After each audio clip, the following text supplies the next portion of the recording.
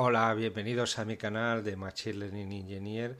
En el vídeo de hoy vamos a ver una serie de trucos y consejos de cómo trabajar con Google Colab. Son algunas de las cosas con las que me he ido encontrando y bueno, pues me quería hacer este vídeo pues por dos razones. Una, pues para acordarme de todas ellas, las he ido recolectando de distintos sitios eh, y luego pues para compartirlas con, con toda la comunidad que me escucha y de esa manera, bueno, pues por un lado las documento, por el otro lado las comparto y así somos todos partícipes de, estos pequeños trucos que al final luego vienen muy bien, pues tanto cuando usas el, el Colab como cuando usas Kaggle. Eh, hoy voy a hacer uno solo de, de Colab y en, un, y en breve pues haré otro también de Kaggle para todos aquellos que usamos estos los notebooks tanto en una en un proveedor como en otro ya sea versión de pago versión gratuita pues eh, para poder hacer uso de las esencialmente de las GPUs porque el tema de procesamiento pues tampoco es que sea demasiado brillante digamos no bien eh, he preparado un notebook y luego he bajado otro que es de la, del propio Google de cómo hacer la documentación que es, que es también a veces importante, sobre todo para aquellos que tenemos que, bueno, pues que trabajamos y compartimos estos, estos notebooks pues con, con otras personas, es, es bueno, es, es no importante, sino que, que, es bueno saber cómo hacer la documentación y cómo, cuáles son los diferentes formatos que nos ayudan a hacer. Primero vamos a ir a la parte de trucos y luego pues veremos un poco el, tema, pasaremos un poco por encima para el, para el tema de, del formateo de la documentación. Esto luego todo, como siempre, os lo voy a subir al, al repositorio y os pondré un link en el, en el como se dice en la descripción de este vídeo. Bueno, una de las cosas, la primera que vamos a ver es cómo conectarnos a nuestro entorno local. Eh, digamos, hay veces, pues que imagínate que has creado un entorno, ya sea, eh, o sea, principalmente un conda environment, no, necesariamente tiene que ser un conda environment, pero bueno, imaginaos que os habéis creado un, un, entorno en vuestra máquina con una serie de librerías o incluso un código que tú te hayas podido desarrollar, un paquete o varios paquetes y bueno, pues el, el desplegar esto, pues incluso por un tema de compatibilidad de versiones, como bien sabéis, el, el, Google Colab, vamos a conectarnos aquí a un... Eh, viene con... Yo estoy trabajando con el Pro, pero pues, eh, esencialmente sería lo mismo con un... con el... con la versión gratuita entonces, como veréis aquí, esto viene con un, eh, por defecto con una serie de librerías, con un Python. Pues bueno, imaginar que tenéis que usar un Python 12 y bueno, pues instalarlo aquí sería un Cristo. Podéis instalar, es cierto que podéis instalar el Anaconda, pero bueno, eh, imagínate que tienes ya eh, tu entorno instalado en local y lo que quieres es pues usar el, ese, ese mm, entorno que ya tienes conectado en tu entorno local. ¿no? Me voy a hacer una idea. Eh, yo tengo aquí uno que se llama Azure ML, que es el que suelo utilizar en los vídeos en los que trabajo con Azure Machine Learning Studio y entonces pues bueno aquí ya tengo todas las librerías eh, el SDK instalado y algunas otras pues para acceder tanto al blog stories como algunas otras eh, tecnologías que hay en Azure. Bueno si quisiera conectarme desde Colab a este a este entorno pues eh, tengo que ejecutar. Aquí os he puesto el comando por la línea obviamente tenéis que tener instalado el Jupyter eh, no el Jupyter en vuestro entorno local y lo que haríais pues sería lanzar el comando como lo veis aquí, ¿no? Os permitiría, lo que está haciendo esto es eh, redirigir más que eh, redirigir, bueno, eh, a, permitir de que desde este entorno, que este dominio se pueda conectar a, a tu Colab Jupyter Notebook Server. Lo lanzas esto y bueno, pues ahí te abre un un, eh, la típica eh, página de, ficheros y aquí en él, donde lo tengo, a ver si aquí. Bueno, entonces lo que tenéis que copiaros es eh, esta, una de estas URLs y luego desde aquí, desde el Google Colab, Connect to Local Runtime. Lo pegas aquí y te conectas. Una vez que se ha conectado, veis que aquí ya os cambia Connect Local. Puedes ejecutar Python y como veis a la versión este es 1.11. Ahora puedo hacer un conda info y como veréis es mi eh, repositorio, o sea, mi entorno conda. Y si también accedo a mi GPU, pues estoy accediendo a mi hardware en local. Esto es mi GeForce GTX 1690 y si haces un DIR aquí no te va a funcionar el LLS. ¿Vale? Esto es uno de los trucos. Ahora vamos a ver otro, otro truco que es cómo abrir un, eh, un notebook que no la tengas, no la hayas creado en Colab que no lo hayas creado en Colab, pero que lo quieras abrir en Colab. Por ejemplo, esto es uno de los que yo he creado en mi entorno local, de uno de... Está en el repositorio donde os subo todos los documentos. Y es uno que creé pues recientemente eh, sobre el, cómo desplegar un modelo en Azure Machine Learning Workspace eh, en un punto manejado online. Entonces, si quisieras abrir esto en, en, Colab, sencillamente lo que tienes que cambiar es GitHub, el github.com, lo cambias a GitHub to Colab. Entonces, si te pones aquí y simplemente ejecutas esto, pues ya te lo abrirá en Google Colab. ¿De acuerdo? Y aquí, pues bueno, ya estás en el entorno, ya tienes tu notebook abierto. El siguiente truco eh, es una extensión que, es, eh, que viene con el, con el Colab que se llama Data Table y te permite interactuar con data frames, eh, pandas data frames. Ah, perdonar, tengo que conectarme a, eh, cambiar el runtime para conectarme a un entorno eh, local. con este local, exacto. Porque si esto obviamente no lo tengo instalado en mi entorno local. ¿De acuerdo? Está conectando. Tienes eso, esta extensión, bueno, la podrías cargar la tenemos. Ahora la cargamos y ahora tomamos un dataset, cualquiera de ellos, y lo abrimos en, como veis, de forma interactiva. Puedes hacer un filtrado y, por ejemplo, y data 00, pues filtrar online, puedes hacer incluso gráficos, todo lo que quieras. Viene bastante bien para hacer visualización de datos y, bueno, eh, es algo más que os vendrá bien tenerlo, tenerlo a mano.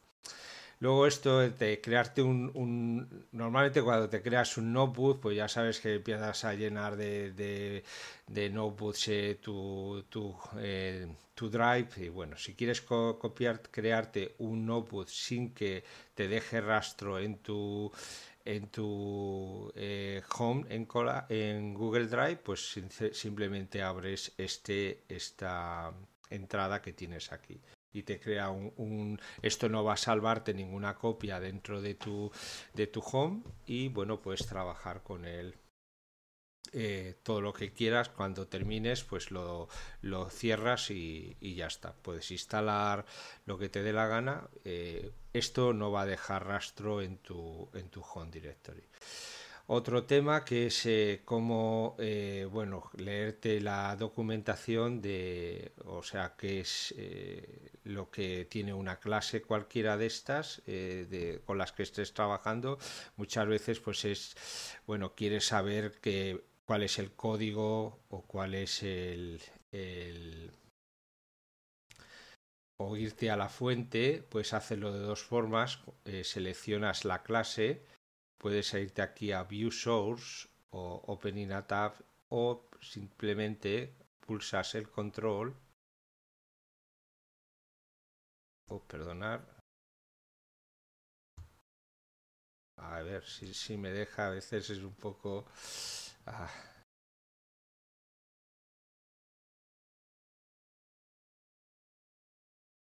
O sea, pulsáis el control, seleccionáis la clase y podéis ir a la definición. La definición os la abrirá en la derecha y ahí tendréis la propia clase y podréis explorarla. Bien, la siguiente es el uso de TensorBoard. TensorBoard es la herramienta de tracking que es una librería desarrollada por Google. Puedes cargar la, el, propio TensorBoard para poder hacer tracking de un experimento que eh, con la librería TensorFlow o con otra librería también los LLMs los puedes loguear a TensorBoard eh, y eh, principalmente luego revisar pues tanto el logs como si estás logueando una métrica, cómo ha ido el entrenamiento. Esto es un ejemplo que he tomado de, la propio, del propio TensorBoard, que es una nada, es una el entrenamiento de una, de una pequeña de una pequeña red neuronal en la cual estamos logueando el, el entrenamiento con solo 5 epochs y eh, logueando tanto lo que es el, el, loss como la métrica accuracy. Esto que estáis viendo aquí, pues adicionalmente se está logueando en el, en el TensorBoard y luego podemos observarlo o eh, conectándonos, eh, embebiendo en el, en el propio notebook el, el board de TensorBoard y o llamando a la librería eh, como veremos en un, en un momento. Ahora cuando acabe la, el entrenamiento os lo enseño. Bien, ya acabado. Ahora simplemente lanzamos el, el TensorBoard al directorio de donde nos ha guardado los logs del entrenamiento que por defecto es el directorio logs y como veis aquí ya tenéis el, el los bueno pues todo lo que ha logueado el, el propio el, el entrenamiento de, de este de este eh, experimento que acabamos de hacer podéis hacer lo mismo con el con la librería eh, o sea, importando el notebook de la librería TensorBoard. Aquí te dice las instancias que tienes y lo puedes hacer también utilizando el notebook display.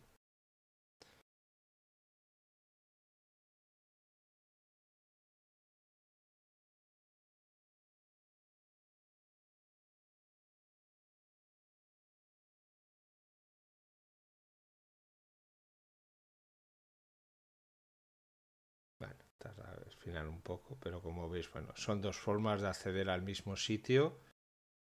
¿eh? Los gráficos, bueno, distribuciones e histogramas. Muy bien.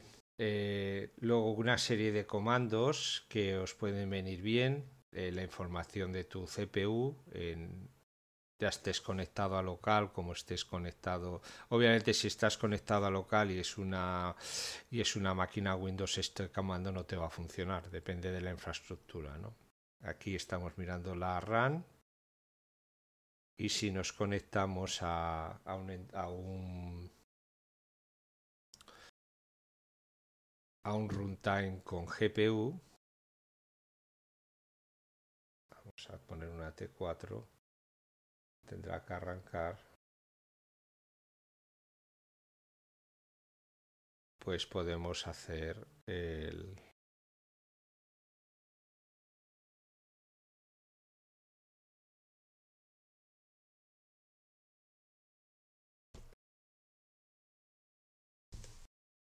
en listas. Las GPUs lo puedes hacer con TensorFlow o lo puedes hacer con, con PyTorch esta sería la forma de hacerlo con GPU y si lo con y si haces con TORS pues simplemente, bueno, ahí lo tenéis. ya no lo da. Esto es una maravilla a veces, ¿eh? De si no te acuerdas de cómo hacerlo con. Pues tienes aquí ya Gemini que lo hace por ti.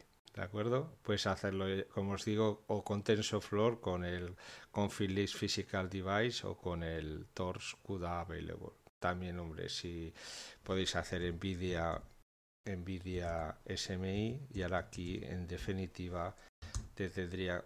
me, he olvidado de poner el, el comandito aquí. ¿De acuerdo? Ahí tenéis, ahora estamos con una eh, T4. Una cosa aquí, cuando os ponéis en, el, en, el, en la flechita, veis aquí cuánto quien ha ejecutado la columna y el tiempo de ejecución. Bien, los secretos y variables. Eh, cuando, eh, como bien sabéis, está la llavecita que tenéis aquí, podéis eh, implementar todos los secretos que, que, queráis, pues los guardáis y luego los podéis hacer disponibles a todas las aplicaciones con las que, o SDKs con los que estáis interactuando. Como veis aquí, si hay algunos de ellos que tienen una nomenclatura especial, como por ejemplo el de Hugging Face, tiene, si ponéis este, el, token, como, como, lo veis aquí, HF underscore token, eh, si luego intentas bajar un modelo de Hugging Face, automáticamente el notebook, eh, esto, el Google Colab se va a dar cuenta de que lo tienes en los secrets y te va a pedir permiso para acceder a él automáticamente. Eh, igual pasa con algunas otras de las de las tecnologías, por ejemplo Pinecone o Wet and Bias, eh, si no me acuerdo mal Anthropic también, pero bueno, este especialmente que yo lo suelo utilizar muchísimo, el HF, el token de Hugging Face, pues este te, eh, ¿cómo se dice? Si, si estás intentando bajarte un modelo a local, si tienes el, el, secreto guardado con, este, en este, con esta nomenclatura, el Google Colab intentará acceder automáticamente a él y eh, te hará el login en Hugging Face. Para crearte uno, pues simplemente añades un nuevo secreto, le das un nombre, le pones un, un ¿cómo se dice? un valor y, ya está. Entonces, para usarlo luego dentro del, notebook, pues tienes que importar from Google Colab user data y hacer un get con user data get el nombre de la variable, en este caso OK. Haces aquí, si, si es la primera vez que accedes a él, te pedirá permiso para acceder desde este notebook a ese secreto y como veis aquí los que estás autorizados pues te los te aparecen con un con un eh, tick de, que está autorizado. Los que veis que están en este con este otro formato con una X a la izquierda estos todavía no han sido autorizados para ser usados en este en este logbook Ahora vamos a ver el uso de las variables. Esto es como eh, la inspección que se suele hacer en el VS Code o en otro IDE. Entonces aquí estás dando de alta a unas, eh, perdón, estás asignando unas variables y te vas aquí a tus variables. A ver, veis aquí aparecen los valores de tus variables. ¿De acuerdo? Esto viene muy bien si tienes un, notebook muy largo y quieres ver, pues a lo mejor si te está fallando por algún, por algún problema, pues te viene bien pues para poder eh, visualizar cuáles son los valores de las variables cuando se está ejecutando una celda o cualquier cosa de esa para hacer temas de debugging. Luego los formularios, que son también bastante interesantes sobre todo a la hora de, que vas a repartir eh, o vas a compartir este notebook con otras personas. Entonces aquí, eh, si introduces entre, entre Markdown, como ves aquí, todo lo que pongas dentro de ahí te va a crear un formulario y luego las variables como veis aquí, si le ponéis una, almohadilla con arroba paran, esto te va a permitir que puedas eh, elegir desde el tipo de dato, luego el tipo, por ejemplo aquí un slider, ¿De acuerdo? Y veis que va variando la variable ahí. El número, aquí es un tipo numérico, tipo de dato. Esto es un, este es súper bueno. ¿De acuerdo? El, el, como se dice, elegir desde una lista y luego aquí tienes elegir desde una lista a la cual le puedes eh, incluir tú también un elemento. Si quisieras poner, si no está el que a ti te conviene, pues puedes incluir, por ejemplo, eh, Pineapple, por ejemplo. ¿De acuerdo? Pineapple. Vale, ¿de acuerdo? Y ahí lo tendrías. Si ahora ya ejecutas esto, pues veréis que os aparecerían en las variables que tenéis del sistema. O sea, esto viene muy bien pues para darle, o sea, si vas, si vas a compartir el notebook con alguien, pues para darle eh, opciones de, digamos, de que entre qué, entre qué em, eh, rangos y qué opciones puedan tener las diferentes variables dependiendo del tipo de, de dato que, que sea esa variable. Eh, montar el drive, esto bueno, es bastante, yo creo que estáis bastante familiarizados todos con ellos. Estáis montando vuestro vuestro Google Drive aquí. Esto como siempre y bueno, continuar. Vale. Esto lo que te hace pues es montarte tu Drive, que es los que tenéis Drive, obviamente y eh, podéis acceder desde, desde el notebook eh, a, vuestro, eh, a vuestra máquina local. Con esto puedes subir un fichero. Ahora aquí os aparecerá elegir un fichero. Por ejemplo, vamos a elegir esta ppt. Y una vez que lo sube, pues te lo va a depositar en el, em, donde tú le digas. Aquí le puedes especificar también cuál es el, destino final. Veis que la está subiendo y una vez eso aparecerá si no especificas nada en el, en el root de tu, eh, de tu drive.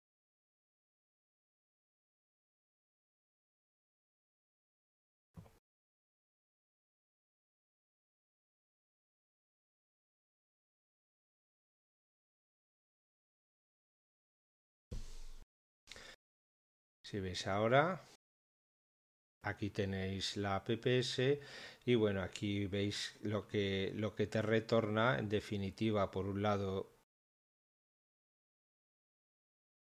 Ah, perdón. Esto será exclusivamente esto.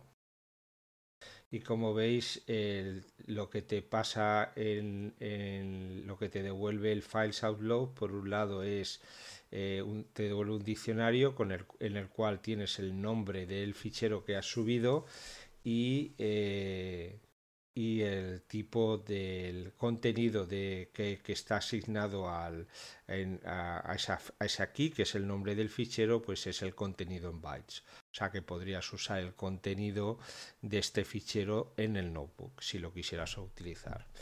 Y luego eh, puedes hacer lo mismo, ahora puedes bajar el, download de este fichero, puedes utilizar este o cualquier otro y si haces un download pues lo mismo te lo va a bajar a tu eh, lo baja en principio al eh, downloads eh, de tu home directory. Puedes bajarlo también a otra localización pero bueno una vez que esto esto es bajarlo a tanto lo local hay una em, eh, como se dice, hay un comando muy interesante que es la cell interactiva, eh, que la puedes ejecutar directamente en una célula de, del, propio Colab, utilizando el get Python. Y como veis aquí, eh, lo que estoy haciendo es simplemente hacer un listado de mi home directory directamente. Como veis tengo el config, drive, sample data y la ppt que he subido. Aquí puedes hacer eh, instalar eh, una, una librería, por ejemplo. No vamos a mandarlo al, al puedes ver directamente qué es lo que hace. O sea, si lo mandas al background, lo que hace es que te devuelve la shell. Si no lo mandas, pues estás esperando eh, hasta que termina la ejecución de esa instalación. Aquí podemos hacer, eh, puedes asignar la entrada a, una variable, como estamos haciendo aquí, y lo que te devolvería como veis instala, aquí está, está instalando una librería y luego pues simplemente te devuelve todo en una en el en una lista por si luego lo quieres digamos eh, analizar no pues analizar el o parsear el, el, resultado de lo que te de lo que te ha hecho Aquí podemos lanzar el, por ejemplo, un comando y luego podríamos ver el input. Vamos a hacerlo aquí y eh, verías aquí que te ha lanzado el MLflow en el puerto 510. Esto es eh, una forma de tunelizar, poder ejecutar, por ejemplo, aquí estamos ejecutando MLflow, pero si quisieras ver el UI, la forma, una forma de hacerlo es utilizar NGROK. NGROK es, un, es una herramienta que lo que te hace es crearte un túnel desde el box, desde la caja, desde el sistema operativo donde está corriendo tu...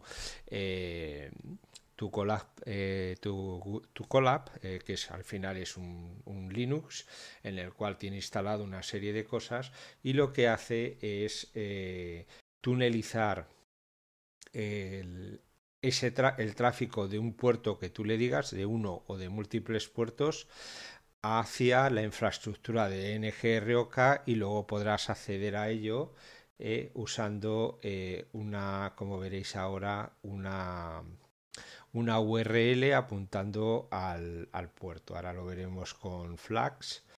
Eh, esto se usa bastante. Eh, hay dos versiones, una que es la gratuita y otra que es la, voy a parar eso, y otra que es la, de pago.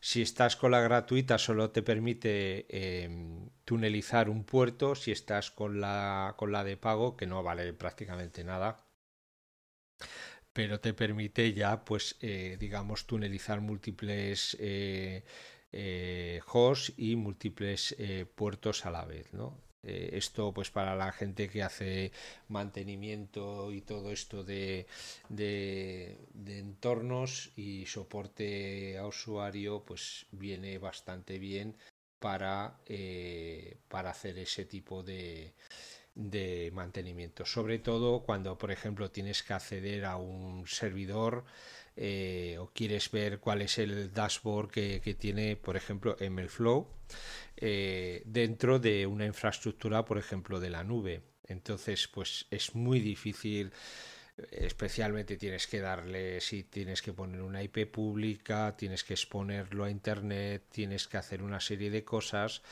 que muchas políticas de seguridad pues no autorizan. Entonces, ¿qué es lo que, sobre todo las de empresas, esto os lo, digo porque vamos, ya trabajan en este entorno de seguridad también en el pasado y, la, y los departamentos de seguridad son muy reacios a abrir eh, determinados puertos. Eh, a internet. Si lo haces de esta manera, esto lo que va a hacer es conectarse eh, vía, vía puerto vía proxy. Normalmente se, se intenta conectar o eh, vía puerto 8080 o hacia o vía puerto 80 hacia o 443, que esos son puertos que siempre están abiertos desde dentro hacia afuera para poderse conectar a, las distintas webs de internet. Y entonces lo que hace esto es utilizar el método connect si se conecta a un proxy o, a un servidor o directamente usar el 80 o el 443 para crear un túnel. Normalmente el 443 porque el 443 va eh, sobre TCP no, y, puedes establecer una conexión permanente. Si vas a hacerlo a través de un proxy, pues también se puede conectar al 8080 y utilizar el método, el método connect del proxy. Esta forma, pues ya os digo, es una forma de, de cierta manera de pasarte de las reglas de seguridad de tu compañía, pero bueno, yo sé, sé a ciencia cierta que esto es una de las herramientas que autorizan para poder hacer mantenimiento remoto en muchas compañías.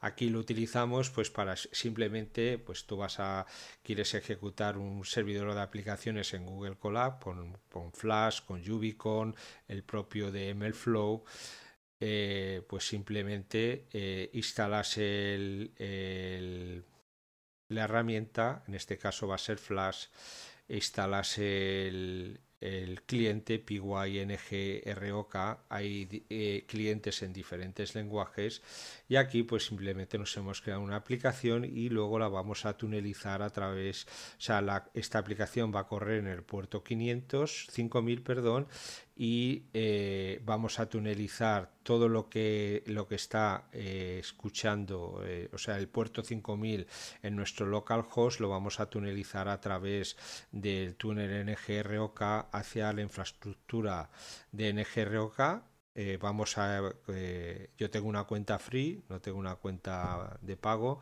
y bueno pues eh, simplemente lo que vamos a hacer es ver cómo funcionaría. Aquí como veis solo tengo es una pequeña aplicación flags la cual tiene un, único punto de entrada que es el,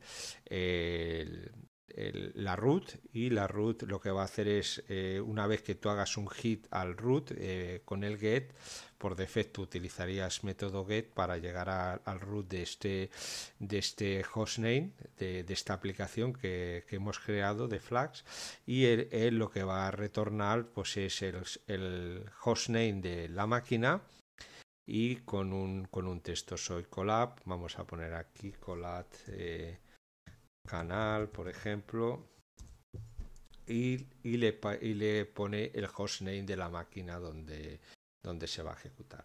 Entonces ahora vamos a lanzar aquí, me va a acceder a mi token, a ah, jamón.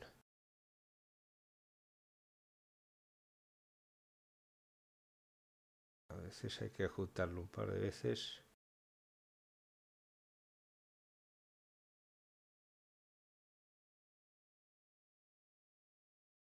No recuerdo si lo había bajado. Ah, vale, ya lo tengo aquí. Os accedéis al, a la URL. Como os digo, esto aquí estamos utilizando la versión gratuita. Si no quisierais utilizar la versión gratuita, vaya. Así, aquí está. Visit.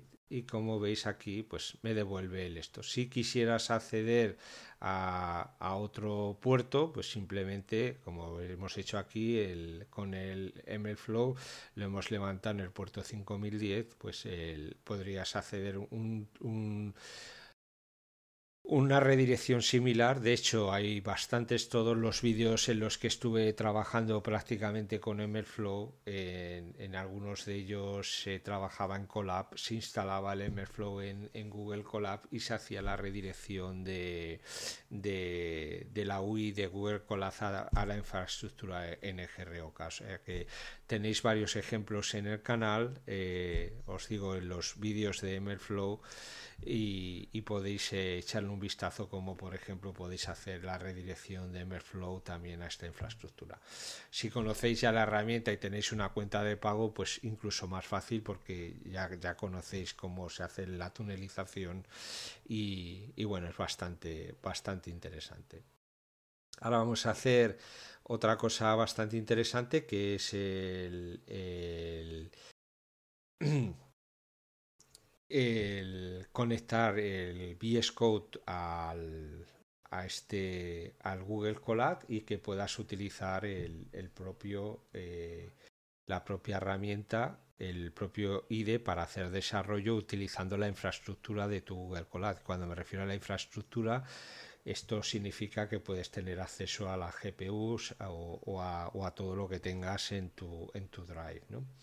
Bueno, lo primero que tenéis que hacer es bajaros eh, un binario. Os lo he puesto ahí, de, aquí, que es el eh, cloudfare.com. Esto es otra herramienta de tunelización, dependiendo de si estáis en Windows o si estáis en, Mac o, eh, o, en Linux, pues tendréis que bajaros un binario u otro. ¿no? Yo me he bajado en este caso este binario y me lo he bajado a mi, a mi downloads. ¿De acuerdo? Ah, entonces, lo podéis bajar al, destino que queráis en principio y eh, lo único que tenéis que tener en cuenta es el ¿cómo se dice? el tener apuntado, o sea, que sea una ubicación a la que tiene, a la que tenéis acceso, tenéis permisos de acceso. Bien. Luego tomamos el donde está mi amigo VS Code eh, aquí. Bueno, lo siguiente que vamos a hacer es eh, irnos con el... Aquí estoy conectado. Vale, perfecto. Esto lo vamos a hacer con la otra... Eh, bien, entonces abrimos el fichero. Si no lo tenéis creado, os lo creará un fichero que se llama... Hacéis control shift P y aquí abrís OpenSSH Configuration File este tomáis, eh, si estáis en una máquina Linux, esta, esta ubicación os va a variar. Si tenéis una ubicación Windows, lo normal es que esté en vuestro home directory en el .ssh, en un directorio .ssh con, la, con el nombre config. Como veis aquí yo ya tengo una configuración a una máquina en la nube y ahora aquí también he metido la configuración del tree Cloudflare. Eh, si estáis en una máquina Linux, esto va a ser barra home, barra user, eh, barra las barras al revés, punto .ssh barra config. Tomamos este, que es este fichero que tengo aquí, y le incluís eh, este, este pedacito de información al fichero.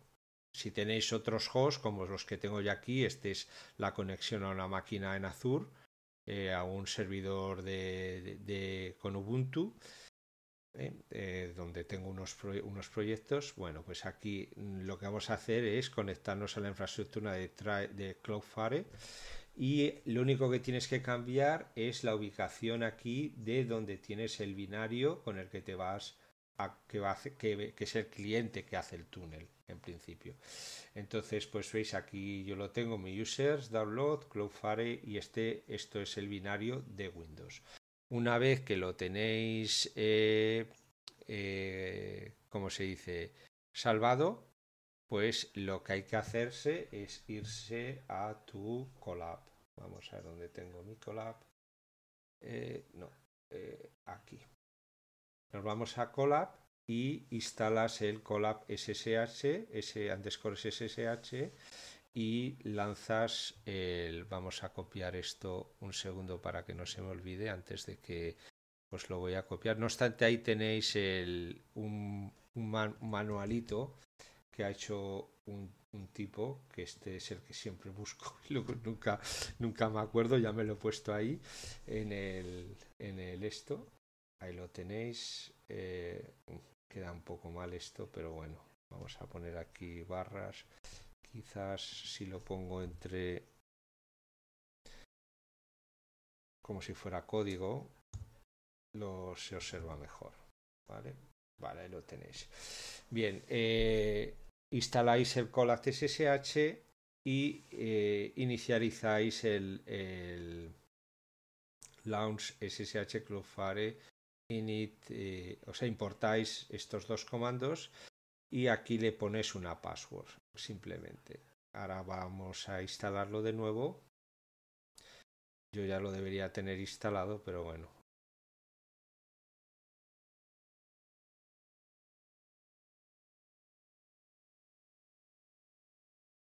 Esto nos va a crear un túnel desde el Colab desde, este, desde esta, digamos, box donde tengo corriendo el, Google Colab hasta Cloudflare y luego desde el notebook me voy a conectar a este túnel.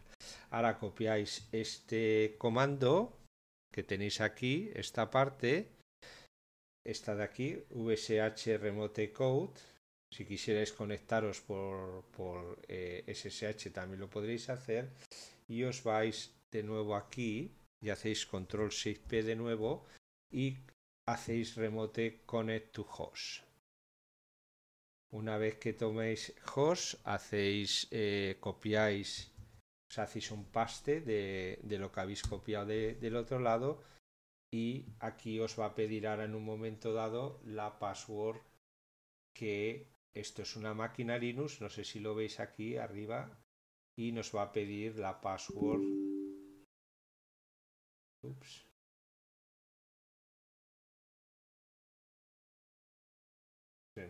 puede que se haya caído el sistema. Vale, Linux. Un segundito.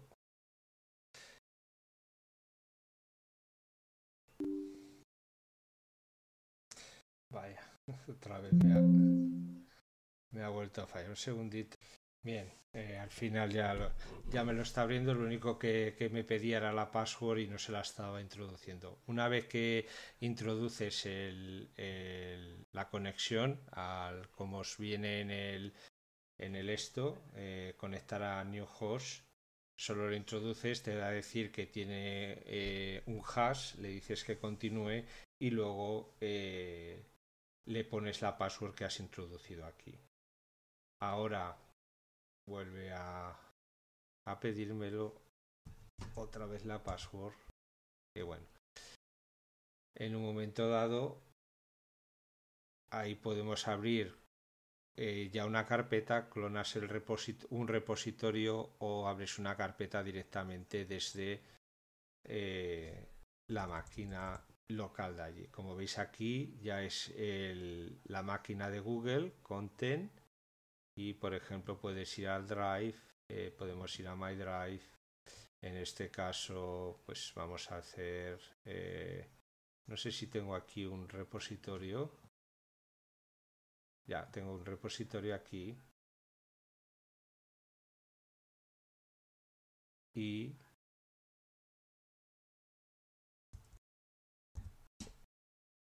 nos abrirá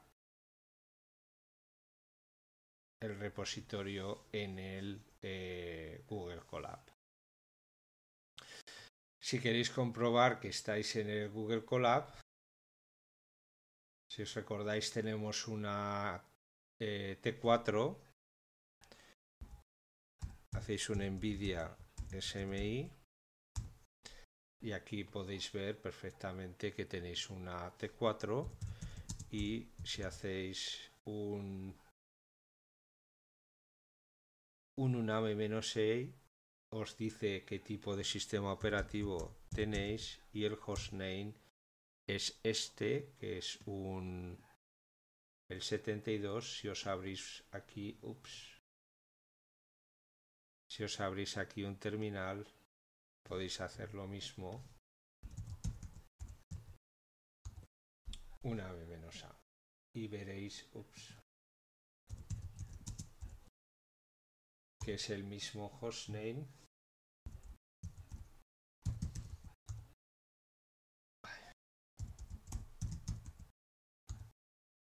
el 3872 y si os fijáis aquí es el mismo que tenéis aquí 3872